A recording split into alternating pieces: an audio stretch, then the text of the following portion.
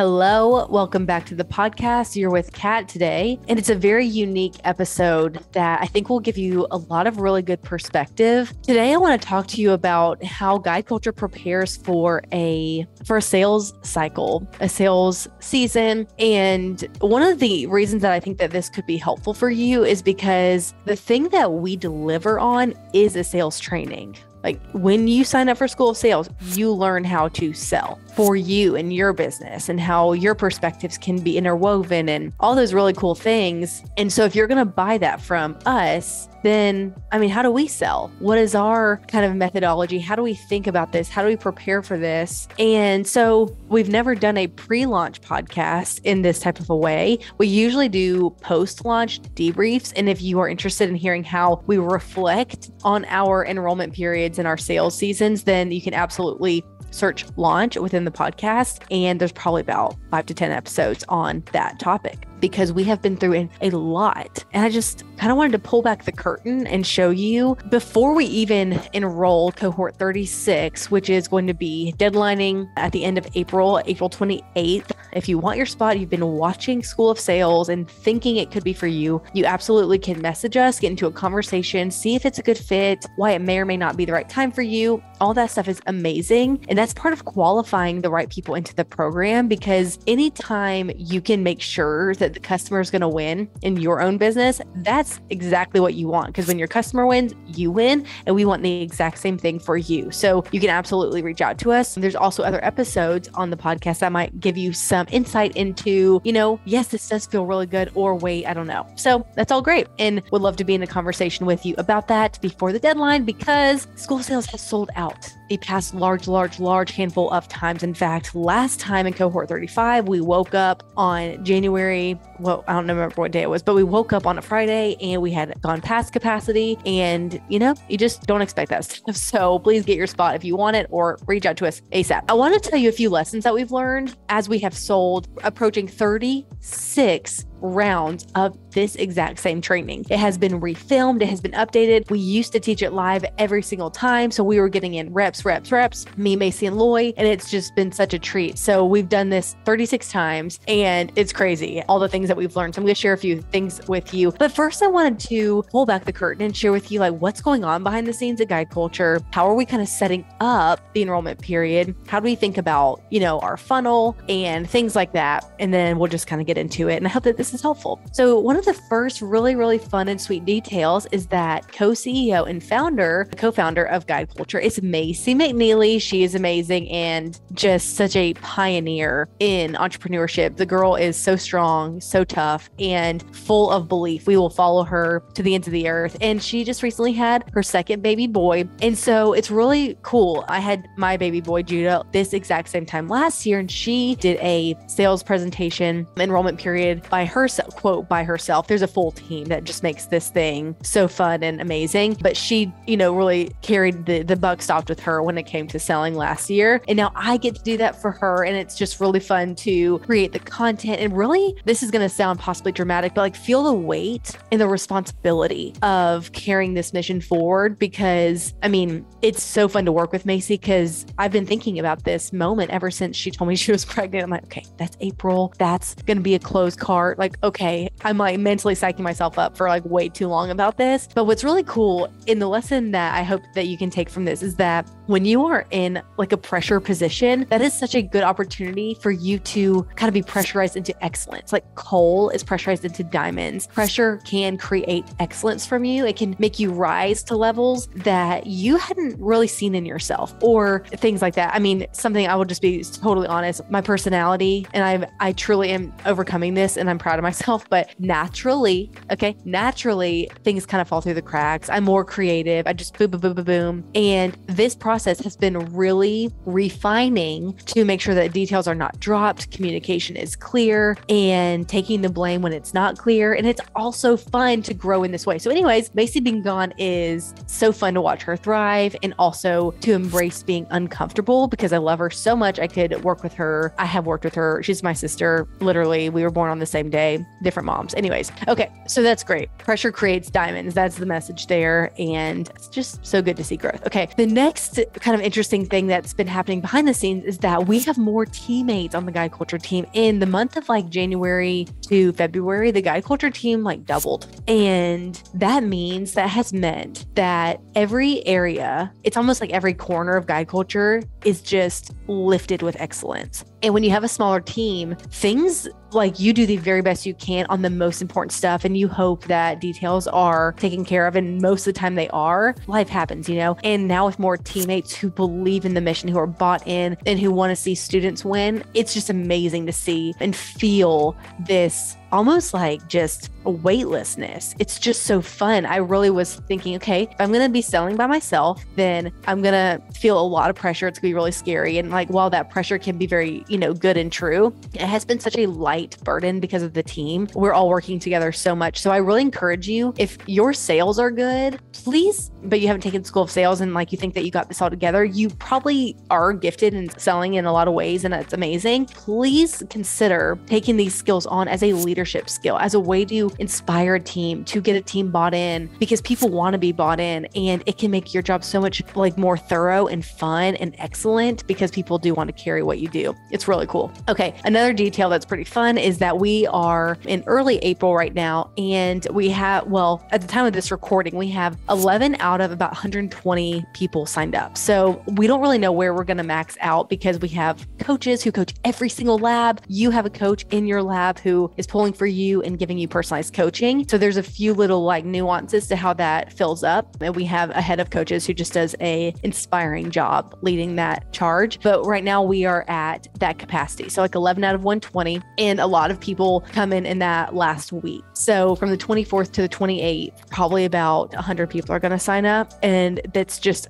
wild. If you've never been a part of a sales week, I highly encourage it. I will get into a little bit more about how that's going to run down and things like that. But the reason I'm telling you this is because I we've obviously worked with thousands of students in like just talking through their sales problems or whatever. Then we've had over a thousand graduates of our program. And then within our membership academy, there's about 200 amazing people who they can be really hard on themselves. Like they say, oh, it's cricket. Oh, I don't have the numbers I want. How's this ever going to happen? And I'm just sitting here right now telling you we have about 11 out of 120 signed up. And I know for, I just know that it's going to fill up. One, because of evidence of history, it sells out. And knowing that there is predictability in sales skills. There is predictability in being able to communicate value, and you can be certain and excited. And then when you feel that way, it all becomes about the people winning. It, it's all about the excitement of cheering people on over the finish line, coming to school sales. We cannot wait to serve you. I'm not nervous. I'm excited. I'm full of hope, and it's awesome. And honestly, like I said, we are 36 cohorts, and it has not always felt this way. We have worked so hard. And I'm going to tell you a few stories about us falling on our face. We have fallen on our our face 90% of the time and made it work regardless. Also, 90% of the time, and 10% is just like, what just happened? Again, you can hear a lot of those stories in the launch debriefs. We're pretty honest in those. So,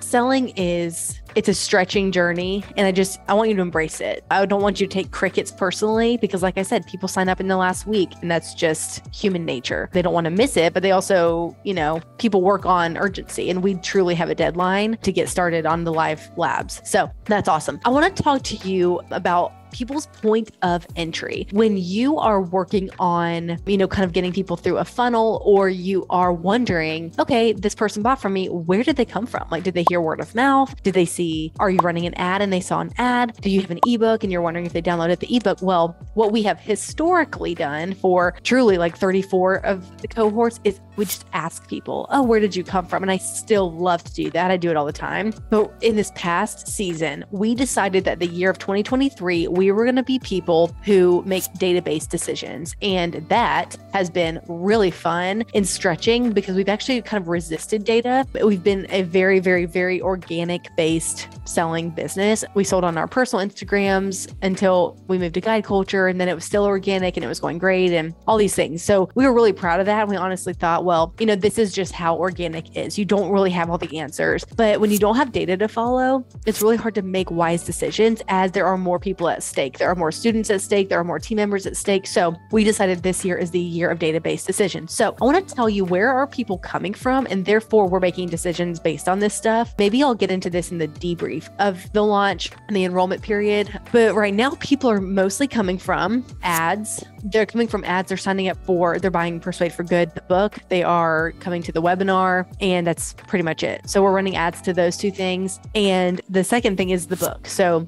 ads to just make them aware of what's happening. And then also, we are selling Persuade for Good books. This is like the, you can think of it like our top of funnel messaging. And the people who buy the book, they really gain an awareness around the values of guide culture. And they really, even more so, I believe, they think about themselves differently. They think about how proud they can be to persuade for good. And that has been one of the best gifts of life, honestly, in this whole business journey. This has been so cool. And so, what used to take people about a year to kind of watch our guide culture Instagram content, be on the podcast, it would take about a year, sometimes two, in order for people to purchase. And we were honestly very happy with that. We thought, well, this is just what it is. It's no big deal. We love these people. And once the book came out, we could have never expected this, but people are signing up for the cohort like the same month that they read the book. And so it's just been an incredible kind of conversion product. And that's because the book is a sales message in a book. It's helping people see themselves, see sales in a way that they could be proud of, and that makes them want to lean in. So everything that matters is a sales message. We'll get into that more because that's the point. And then the third really, really cool thing, and as we were looking at data, we realized that without even making this pushed effort, about half of each cohort, or half of the most recent cohort, I should say, because we actually started tracking it, was coming from a word of mouth referral. And without without mentioning it, truly, we just like were sending the graduates who had gone through guide culture, school of sales. We said, hey, we would love to send you hundred dollars if you, you know, sent someone to the school of sales. It's great. We I think we told them that once. And then this cohort turned out to be 50% word of mouth referral. And from then we were like, man, they are the ones who help propel the message in such an impactful way based on who they have become. Can you imagine what would happen if your clients were so successful? They were so enthusiastic that they could help leverage your message. That is such a gift. And so recently,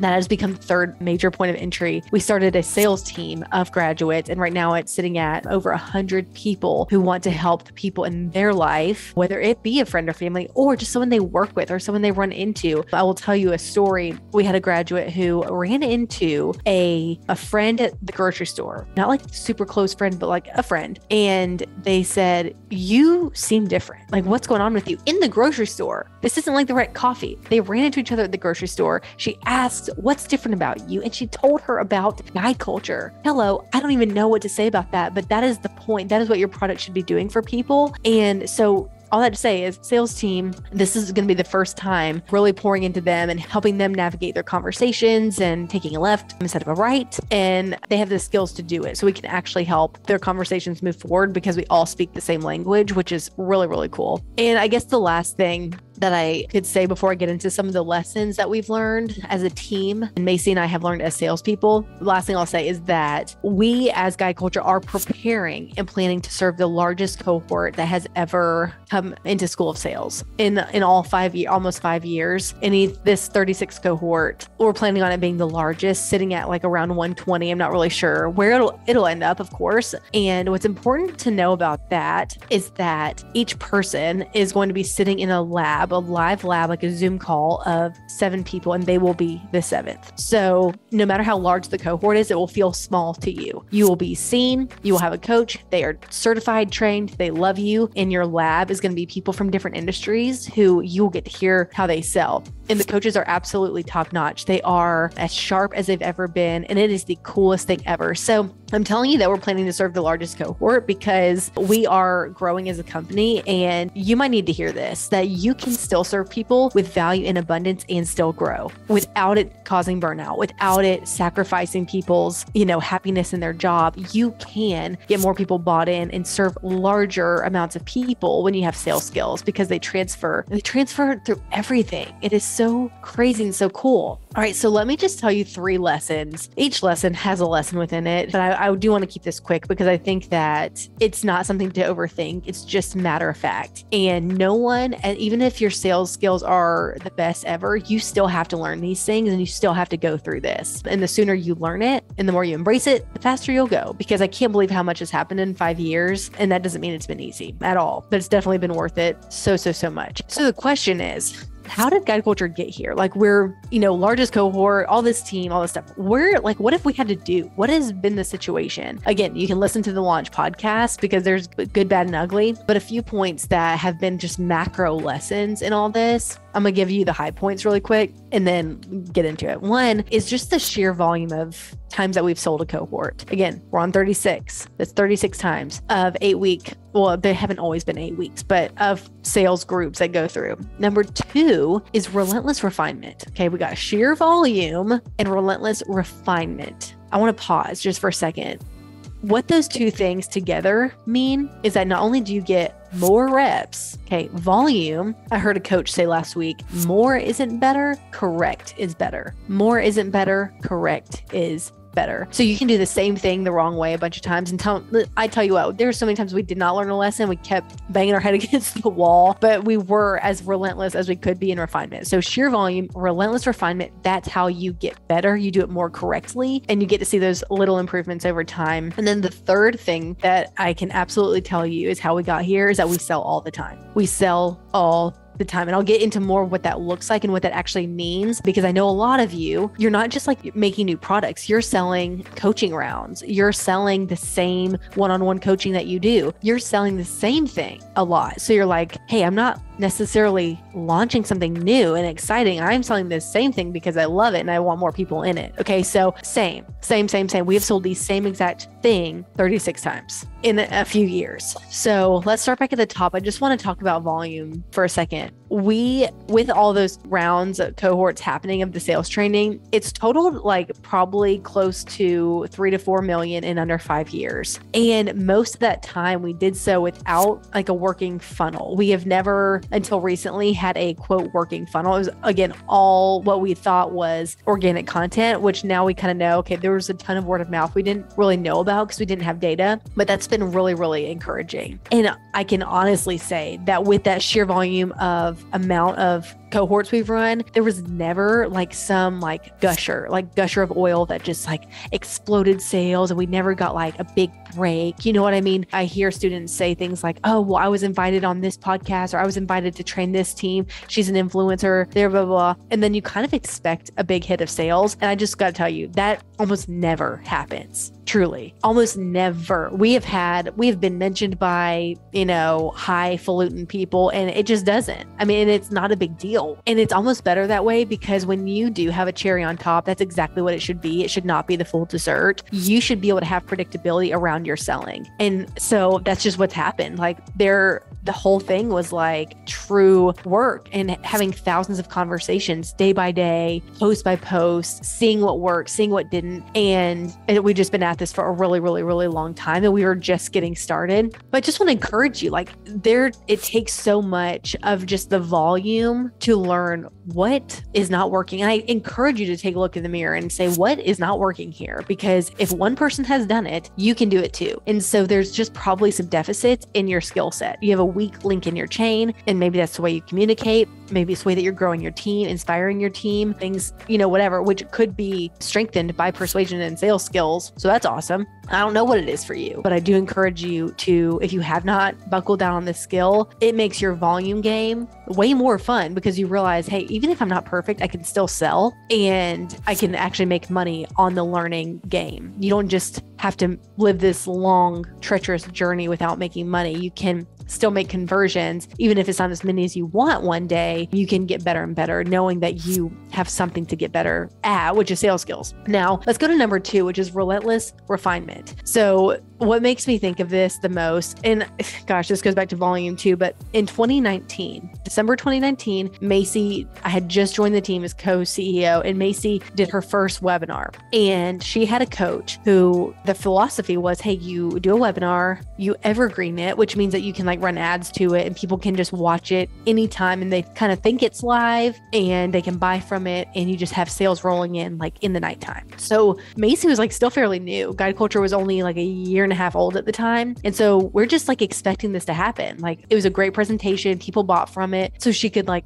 quote evergreen it. And it just was not the case. That was not what happened at all. And so what we realized that was December following April was April 2020. And we had like had three in per oh gosh, on top of the 36 cohorts, we've also had a lot of in-person sessions too. And this is like kind of pre-2020. Now we have a lot less of them. But anyways, that is still a major factor in this. And so it was April 2020. We were like, hey, it's like probably time to do a webinar again. It's been a few months. And so we put together this amazing presentation and we put together a lot of presentations with different messaging, with different titles, different subtitles, all this stuff. But in April 2020 was like our first one together and we had 1200 people sign up for this webinar. And i'll never forget because we had worked pretty hard on it i'd say. And so we go to the gas station next to the office. We get a, a case of trulies okay the beverage. We open up her husband austin's tailgate and we were waiting for the sales to come in. I know it's like kind of weird to even talk about this but we did this. And and no one bought from that webinar. It was good though and we actually got compliments on it.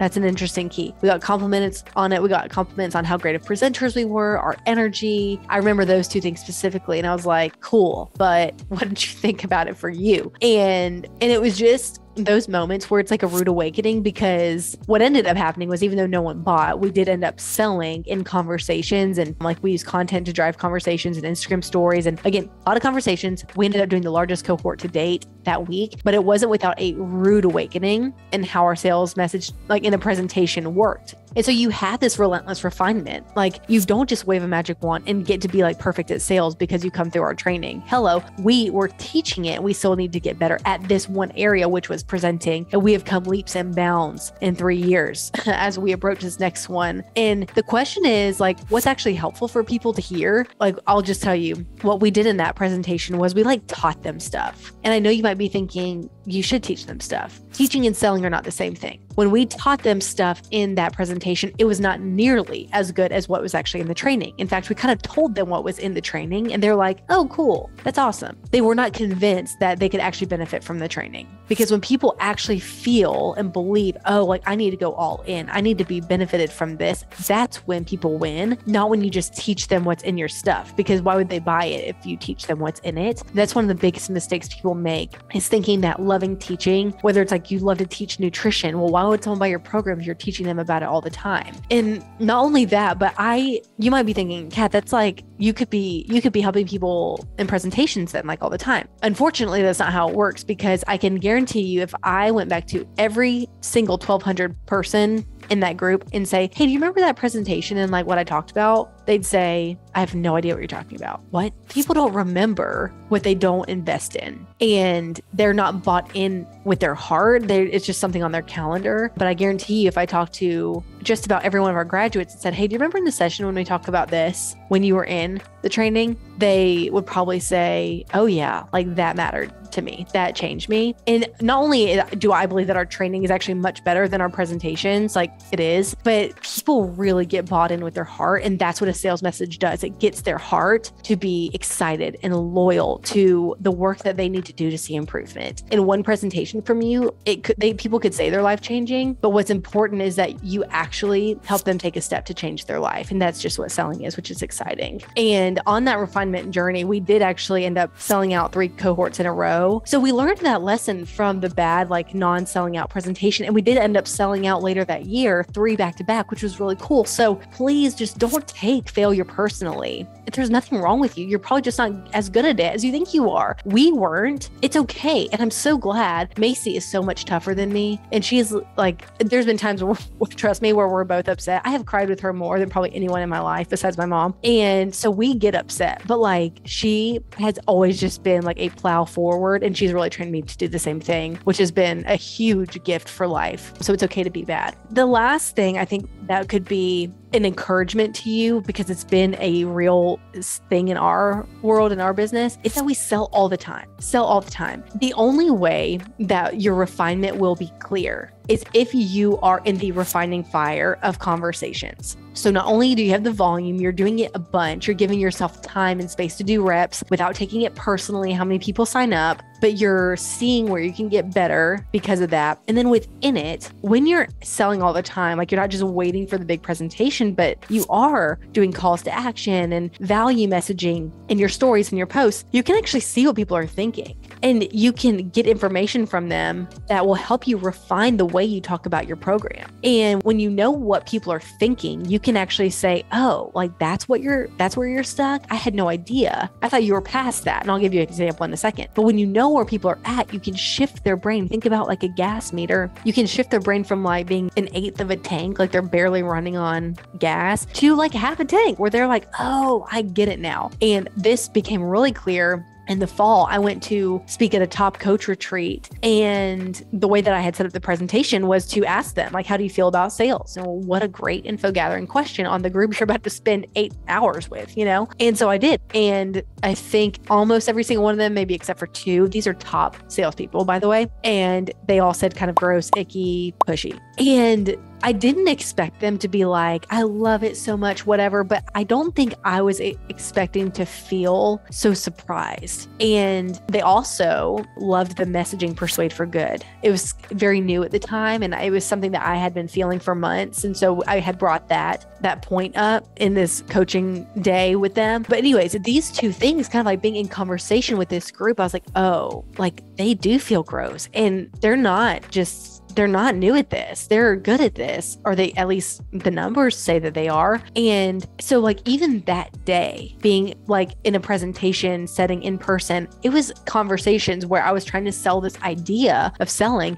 learned that they felt gross, and it actually refined what we were doing now. And that's why Persuade for Good is the main message. It's why telling people that they don't have to feel gross is the message. And apparently, this is what people need to hear. You can feel good about it. You don't have to feel gross. There is a way to make money and still feel really good about the work that you do and not feel guilty about it or whatever. So we've really led with this. And it's been only because of what we're hearing from people. And I just encourage you, like, whenever you go through a sales cycle, I'm not saying that as soon as you're done, you need to start talking about your program again. I'm saying listen to what people are saying. What is the market saying? And start to direct their mind in the right direction so that they even want to buy from you. Because that's how you take your next message, your next webinar, your next, you know, whatever conversation or post that you make public facing, and you handle their thought and you shift their perspective. Like you can handle it like an objection potentially. If someone, people tend to not understand your price or they don't understand why selling isn't gross or they don't understand why, you know, they need to count macros, like whatever the thing is, you can actually handle their thoughts as really cool objections and encourage them in the right direction. That's what selling is. It's helping guide people in the right direction that will actually benefit their life and they can decide whether to take action. And you are the one that can control that conversation and be their leader in that. And it's just so powerful because, like the webinar that we have coming up, I am inviting you to that. Or if you are a graduate or you have a friend, like come to this webinar. It is Persuade for Good Masterclass How Making Money Can Be a Natural Byproduct of Your Life Without Feeling Gross. All of this title has come from conversation, it's come from volume, it's come from refinement, and it is possible for you. Guide culture has grown,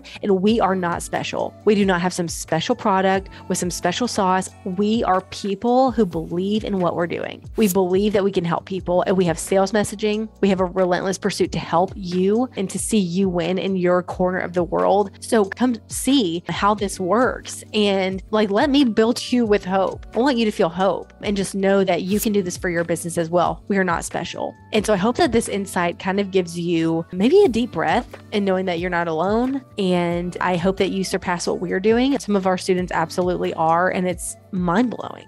It's mind blowing how fast things can change I mean, just in the last year, I'm thinking about some students who signed up last July. One of them went from having 20 sales last January of 22 to did 90 sales January of 2023. You have no idea what can happen in a year. You have no idea. And a year is long when you're selling and you're, I shouldn't say it like that. A year can feel long when it's like day after day, you're like trying to get better at posting and at selling. And it is also the most fun journey. It is so fun to see yourself get better, to watch your customers' eyes light up because they believe in themselves. It is the coolest thing. Another person, but she was like in the red. Her name's Becca, and she was in the red in her business. She was investing in strategies. She did not know why things were not working, but she thought like this is, I guess, my last chance because I'm I don't even want to talk to my own family about my business anymore. And she went all in. She is now a member of Guide Culture Academy, which is the ongoing membership, and she did like 50k in I think the first two months of the year. She was in the red before, like she was not even able to make up her expenses, and now she's profiting. She's more profitable than her full time job was, and that's saying a lot because as a business owner, you do have overhead, so it's possible for you. It's possible to see growth like you haven't experienced, and I don't know where you're starting. I'd love to talk to you if you want to come to Instagram DMs at the Guide Culture, but at the end of the day,